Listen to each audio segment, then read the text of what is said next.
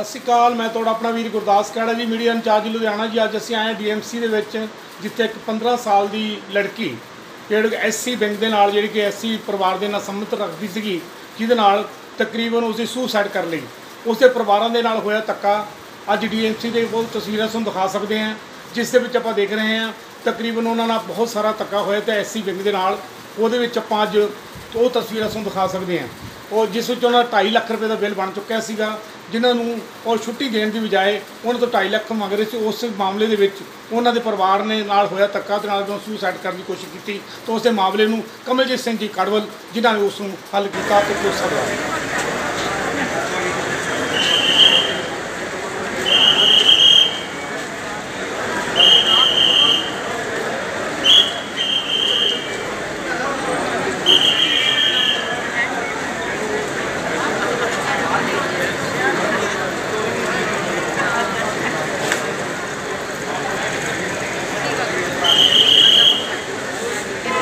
ਇਹ ਸੱਚਾਈ ਆ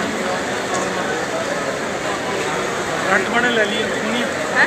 ਫਰੰਟ ਲੈ ਲਈ ਛੋੜ ਦੇ ਦੇ।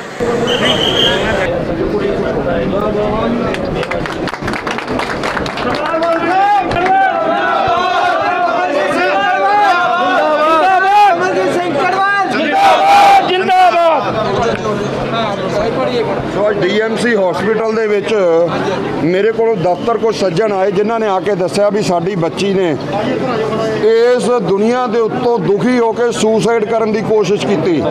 ਇਹ ਦਰਿੰਦਿਆਂ ਨੇ ਉਹਦਾ 2.5-3 ਲੱਖ ਦਾ ਬਿੱਲ ਬਣਾਉਣ ਤੋਂ ਬਾਅਦ ਉਹ ਤੋਂ 1 ਲੱਖ ਰੁਪਈਆ ਲੈਣ ਤੋਂ ਬਾਅਦ ਉਹਨੂੰ ਕਹਿੰਦੇ ਵੀ ਆਪਣੀ ਇਹਨੂੰ ਲੜਕੀ ਨੂੰ ਇੱਥੋਂ ਲੈ ਜਾਓ, ਸਾਡੇ ਕੋਲ ਇਲਾਜ ਨਹੀਂ ਹੋਣਾ, ਪੈਸੇ ਨਹੀਂ ਤੁਸੀਂ ਲੈ ਕੇ ਆਉਂਦੇ।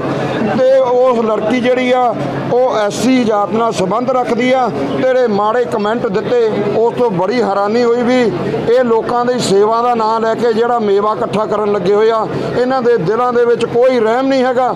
ਪਰ ਮੈਂ ਇਹਨਾਂ ਨੂੰ ਇੱਕ ਗੱਲ ਕਹਿਣਾ, ਜੇ ਕੁੜੀ ਨੂੰ ਕੁਝ ਹੋ ਗਿਆ, ਜੇ ਕੁੜੀ ਦੀ ਜਾਨ ਚਲੀ ਗਈ, ਇਹਨਾਂ ਦੇ ਹਸਪੀਟਲ ਦੇ ਮੂਹਰੇ ਸੰਸਕਾਰ ਕਰਾਂਗੇ। ਜੇ ਇਹਨਾਂ ਨੇ ਬਚਾਉਣੀਆਂ ਬਚਾ ਲੈਣ, ਨਹੀਂ ਇੱਥੋਂ ਨਹੀਂ ਅਸੀਂ ਲੈ ਕੇ ਜਾਣਾ। ਇਹਨਾਂ ਦੇ ਹਸਪੀਟਲ ਦੇ ਮੂਹਰੇ ਸੰਸਕਾਰ ਕਰਾਂਗੇ ਜੇ ਕੁੜੀ ਨੂੰ ਕੁਝ ਹੋ ਗਿਆ ਇਸ ਕਰਕੇ ਇਹਨਾਂ ਨੂੰ ਸੋਚ ਸਮਝ ਕੇ।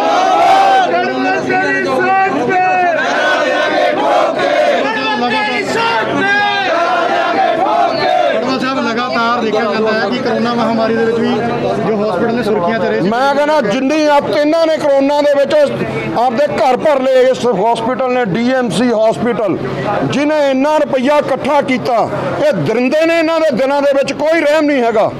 ਸੋ ਮੈਂ ਸਮਝਦਾ ਕਿ ਇਸ ਬੰਦਿਆਂ ਨੂੰ ਇਹ ਚਾਹੀਦਾ ਸੀ ਕਿਸੇ ਐਨਜੀਓ ਤੋਂ ਇਸ ਕੁੜੀ ਦਾ ਇਲਾਜ ਕਰਾਉਂਦੇ। ਜੇ ਇਲਾਜ ਕਰਾਉਣ ਦੀ ਬਜਾਏ ਉਹਨੂੰ ਬਾਹਰ ਕੱਢਣ ਲੱਗੇ ਹੋਏ ਨੇ, ਤੂੰ ਇੰਨਾ ਬਿੱਲ ਦੇ ਜਾ, ਤੂੰ ਇੰਨਾ ਬਿੱਲ ਦੇ ਜਾ। ਕੱਲ ਮੈਂ ਫੋਨ ਕੀਤਾ ਤਾਂ ਮੈਨੂੰ ਕਹਿੰਦੇ ਅਸੀਂ 40000 ਛੱਡ ਦਾਂਗੇ। ਅੱਜ ਮੈਂ ਆਇਆ ਤਾਂ 80000 ਛੱਡ ਦਾਂਗੇ, ਆਪਦੀ ਬੱਚੀ ਨੂੰ ਇੱਥੋਂ ਲੈ ਜਾਓ। ਕਿਉਂ ਲੈ ਕੇ ਜਾਈਏ ਅਸੀਂ?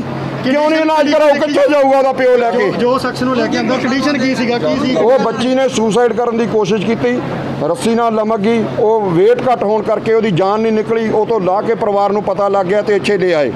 ਤੇ ਪਿਛਲੇ 7 ਦਿਨ ਤੋਂ ਇਹ ਡਰਾਮੇਬਾਜ਼ੀ ਕਰੀ ਜਾ ਰਹੇ ਨੇ 2 ਦਿਨ ਤੋਂ ਇਲਾਜ ਬੰਦ ਕੀਤਾ ਹੋਇਆ। ਤੁਹਾਡੀ ਕੀ ਗੱਲਬਾਤ ਹੋਈ? ਅਸੀਂ ਇਹਨੂੰ ਇਹ ਕਹਿੰਦੇ ਆ ਵੀ ਉਸ ਬੱਚੀ ਦਾ ਇਲਾਜ ਇੱਥੇ ਕੀਤਾ ਜਾਵੇ ਨਹੀਂ ਅਸੀਂ ਲੈ ਕੇ ਨਹੀਂ ਜਾਣੀ ਜੇ ਮਰ ਗਈ ਤਾਂ ਕੋਈ ਗੱਲ ਨਹੀਂ ਤੁਹਾਡੇ ਹਸਪੀਟਲ ਦਾ ਮੂਹਰੇ ਹੀ ਸੰਸਕਾਰ ਕਰਾਂਗੇ ਕੋਈ ਗੱਲ ਨਹੀਂ।